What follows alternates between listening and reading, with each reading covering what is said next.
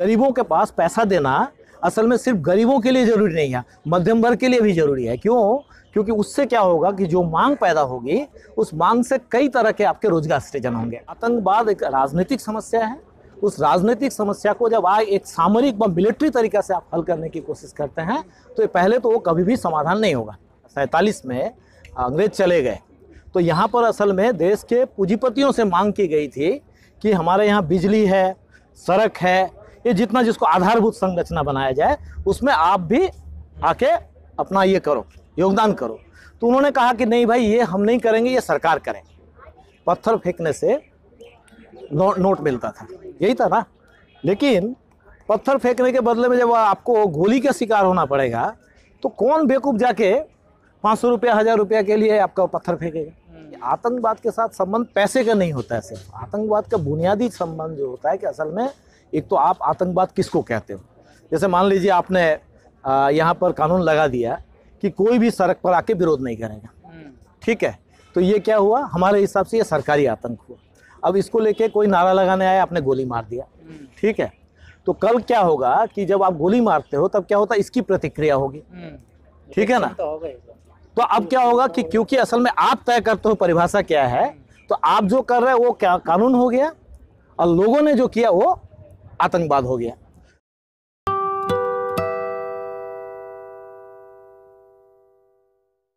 आठ में जो एक तरह से पूरे दुनिया में जो आर्थिक मंदी आई थी तो उसका असर हिंदुस्तान में भी था, लेकिन हिंदुस्तान में कई कारणों से वो असर उतना ज़्यादा नहीं पड़ा। माने आप कह सकते हैं कि जितना उधर असर हुआ था, उसको थोड़ा सा संभाल पाया था सरकार। देश की कुछ आर्थिक संरचना इस तरह की है कि उसमें उसका असर थोड़ा सीमित था। लेकिन ये बात सच है कि असल में आर्थिक मंदी के बाद से लगातार जो दुनिया में संकट रही है पूंजीपति वर्ग का, वो रहा है कि असल में उसको मुनाफा का जो रेट है, मुनाफा का रेट गिरने का एक जनरल संकट है उसके पास। ये संकट हिंदुस्तान में भी रहा और हिंदुस्तान में एक जो बड़ा प्रॉब्लम आ गया था, वो है कि असल में सरकार बाज़ार तैयार करने के लिए इंफ्रास्ट्रक्चर प्रोजेक्ट के नाम पर जो है करोड़ों करोड़ों का जो है ठेका प्राइवेट कंपनियों को दे रही थी। और उसमें सरकारी बैंक को जो है, सरकारी बैंक बहुत सारे पैसे दे रहे थे कर्जे के रूप में। तो नोटबंदी असल में उसका एक समाधान था। समाधान इस रूप में था कि अगर आप बैंक से लगातार अगर आपका पैसा लेते रहेंगे, और उसको नॉन परफॉर्मिंग एसेट बोलते हैं लोग, उसमें अगर डालते रहेंगे तो एक समय में क्या होगा कि बैंक के लिए काम करना मुश्किल हो जाएगा। क्योंकि पैसा रिटर्न अगर नहीं कर पाएगा पब्लिक का तो बैंक की क्रेडिबिलिटी खत्म हो जाएगी और फिर बैंक खत्म हो जाएगा। सरकार के पास इसका एक ही इनको तरीका सूझा ये है कि आप जो है सारे नोट को वापस ले आओ। इसलिए नोटबंदी के जितनी तर्क सामने दिए गए थे वो एक्चुअली मकसद था नहीं। सच्चाई ये थी। हाँ सच्चाई ये था कि असल में को कम करने नहीं एनपीए तो हो गया लेकिन असल में बैंक में पैसा नहीं है। ठीक है वो दे दिया है उनके जो भी औद्योगिक मित्र हैं और खासकर ये गवर्नमेंट आने के बाद उसमें थोड़ा रफ्तार और बढ़ गया था। लेकिन सरकार ने कहा कि आतंकवाद खत्म हो जाएगा भ्रष्टाचार खत्म हो जाएगा जो जाली नोट चल रहे हैं वो खत्म तो क्या वो सब बहाना था? हाँ मैं आपको उसमें थोड़ा उसी टाइम का जितना फैक्ट्स है उसको देख लेना है। हम्म, तो जाली नोट का जो ये है वो रिज़र्व बैंक का अध्ययन है। उस समय वो कह रहे थे जाली नोट का जो ये था वो zero point three point point zero three five percent यानी वो आरबीआई के आकलन है। मतलब मैं ये कहना चाहता हूँ कि अभी वो एग्जैक्ट संख्या पता नहीं लेकिन वो एक परसेंट भी नहीं था। ठीक है? सेकेंड मामला है कि आतंकवाद के साथ संबंध पैसे का नहीं होता है सिर्फ़। आतंकवाद का बुनियादी संबंध जो होता है कि असल में एक तो आप आतंकवाद किसको कहते हो? जैसे मान लीजिए आपने यहाँ पर कानून लगा दिया कि कोई भी सड़क पर आके विरोध नहीं करेगा। ठीक है? तो ये क्या हुआ? हमारे हिसाब से ये सरकारी आतंक हुआ। अब इसको लेके कोई नारा लगाने आया आपने गोली मार दिया। ठीक है? तो कल क्या होगा कि जब आप गोली मारते हो तब क्या होता है? इसकी प्रतिक्रिया होगी। ठीक है ना? तो तो अब क्या होगा कि क्योंकि असल में आप तय करते हो परिभाषा क्या है तो आप जो कर रहे हो वो क्या कानून हो गया? और लोगों ने जो किया वो आतंकवाद हो गया। तो पहला बात यह है कि आतंकवाद का मतलब ये समझना है हमको कि किसी को मरने और मारने में बहुत सुख होता है, ये बात सही नहीं है, खासकर जब मरने की भी संभावना। हो मतलब इंसान ऐसा है ना कि वो जाके किसी को मार सकता है, लेकिन खुद भी मरने की बहुत संभावना रहेगा, फिर भी मारते रहेगा तो इसका मतलब कहे, कहीं कारण गहराई में है। तो आतंकवाद एक राजनीतिक समस्या है उस राजनीतिक समस्या को जब आए एक सामरिक व मिलिट्री तरीका से आप हल करने की कोशिश करते हैं तो ये पहले तो वो कभी भी समाधान नहीं होगा। ये पूरा इतिहास गवाह है इसलिए आतंकवाद के साथ उसका कोई संबंध वैसे भी नहीं था। हम्म, जैसे आप कश्मीर को भी ले लीजिए उसके बाद से क्या वहाँ पर जिसको ये लोग आतंकवादी गतिविधि बोलते हैं क्या वो आतंकवादी गतिविधि कम हुआ? नहीं हुआ। ये गलत बात है ये बेवकूफ़ी भरा बात है कहते हैं कि पत्थर फेंकने से नो, नोट मिलता था। यही था ना? लेकिन पत्थर फेंकने के बदले में जब आपको गोली का शिकार होना पड़ेगा तो कौन बेवकूफ़ जाके पाँच सौ रुपया हज़ार रुपया के लिए आपका पत्थर फेंकेगा? हम्म, तो ये तो इसका कोई मतलब ही नहीं था। ये इनका राजनीतिक सेकने का था। तीसरा जो ये लोग बोल रहे थे और उसमें कुछ हद तक दम है उनका ये एक मकसद था कि असल में आज के समय जो है दुनिया वो असल फाइनेंस कैपिटल का समय है। यानी उद्योगपति राज नहीं करता है बैंक की जो पूंजी है वो पूरे दुनिया को राज करता है। तो कि जितने चीज़ें बैंक के ट्रांजेक्शन्स के जैसे होगा तब क्या होगा कि उनके लिए फ़ायदा है। ठीक है? तो वो चाहते थे कि एक फॉर्मल इकोनॉमी ज़्यादा सेफ़ तो क्या जो सरकार का मकसद था नोटबंदी करने का क्या उसमें वो सफल हुए? नहीं वो भी नहीं हुआ। हैरानी की बात हैरानी मैं नहीं बोलूँगा मतलब वो बात ये है इसलिए नहीं हो पाया क्योंकि आपकी देश की जो अर्थनीति है हम्म, जैसे हमारे यहाँ एक बड़ा सेक्शन क्या है छोटे उत्पादक है स्मॉल प्रोड्यूसर्स हैं। ठीक है? क्यों ये अमेरिका जैसे कंट्री नहीं है यूरोप जैसा कंट्री नहीं है।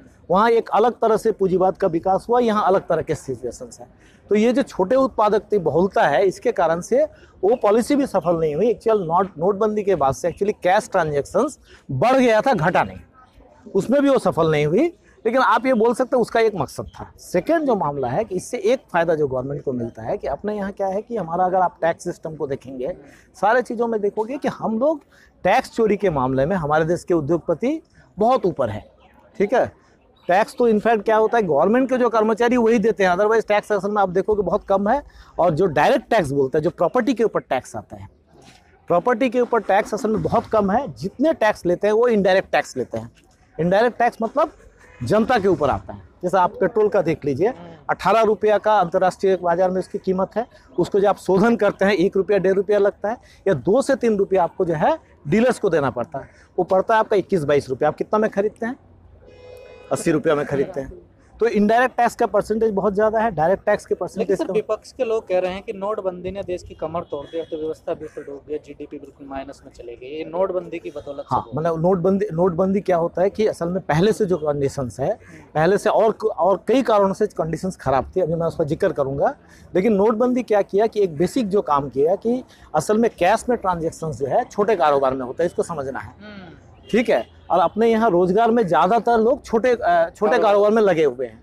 तो आपने जैसे ही ये नोटबंदी किया तो पहला तो असर हुआ कि जिनके पास कम पूंजी होती है जब उनके पास 10 दिन 15 दिन 20 दिन या एक महीना अगर उनका काम नहीं चलेगा तो उनके लिए वापस जो है पूंजी इकट्ठा करके काम चलाना मुश्किल होता है।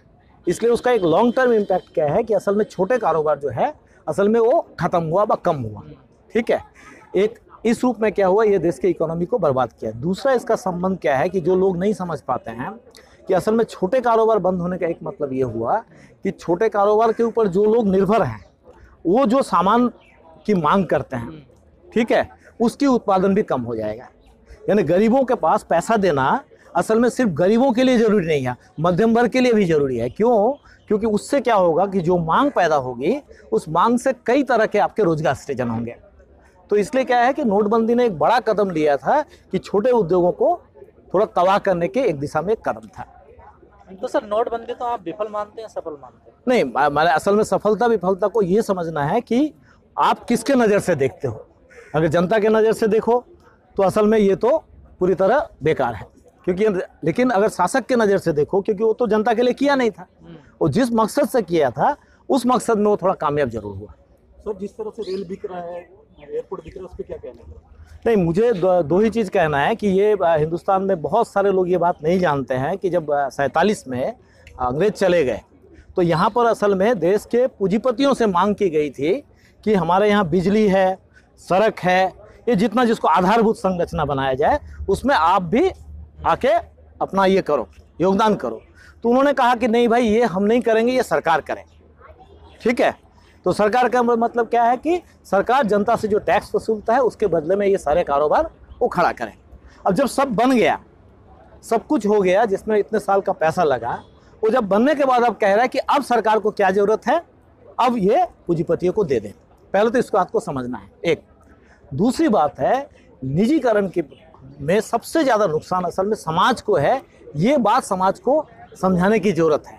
कैसे? अभी आप कोरोना काल में आप देखिए कि अगर आपकी सरकारी हॉस्पिटल नहीं रहता, क्या होता? प्लेग में उन्नीस नाइनटीन में सूरत में प्लेग आया था। सारे प्राइवेट डॉक्टर भाग गए। ठीक है? गवर्नमेंट डॉक्टर नौकरी करने के डर से हो या जैसे भी हो वहाँ पर बचे रहें। तो आप जो है, जब ये निजीकरण करते हो, तब असल में क्या करते हैं? समाज के जो सार्विक हित है, उसको आप चोट पहुंचाते हो। और लास्ट बात जो है, हमारे यहाँ क्या हो रहा है कि जो निजीकरण हो रहा है, वो निजी निजी पक्ष के पैसे से नहीं हो रहा है।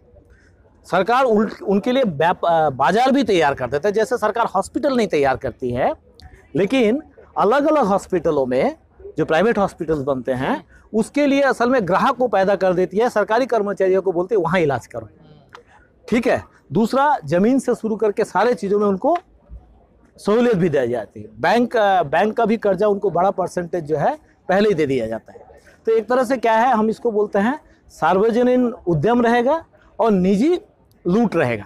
कई जगह ये कह रहे हैं कि हम सीधा ही लूटेंगे।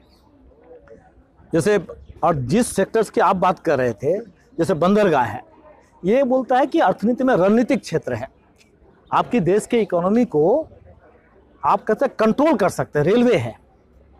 ठीक है? मतलब जहाँ चाहे वो भुखमरी पैदा कर सकता है। रेलवे जब अंग्रेज़ों ने बनाया था, उसका मकसद था कि यहाँ से सामान ले जाना, वहाँ से सामान ले आना, और दूसरा है कि सेना का संचालन करना। अठारह सौ सत्तावन से उन्होंने समझा था कि अगर हम ज़्यादा से मात्रा में वो नहीं ले आते हैं, क्या कहते हैं, सेना अगर जल्दी नहीं पहुँचा पाएँगे तो हम लड़ाई हार जाएँगे। अब वैसे रणनीतिक क्षेत्र को भी निजी कंपनियों के हाथ में देने का मतलब हुआ कि असल में आपने देश के इकोनॉमिक जो सॉवरेनिटी है, उसको ही खत्म करना। और इसका खामियाजा समाज को भुगतना पड़ेगा, जो ऑलरेडी शुरू हो चुका है कि प्लेटफॉर्म का टिकट कई जगह पचास रुपया कर दिया है। जो लाभकारी रूट नहीं रहेगा जैसे हम लोग पाँच छः रुपया में कई जगह सफ़र करते हैं लोकल ट्रेन में वो सबको धीरे धीरे घाटा हो रहा है घाटा हो रहा है चिल्ला के हाँ उसको बंद करवाया जाएगा।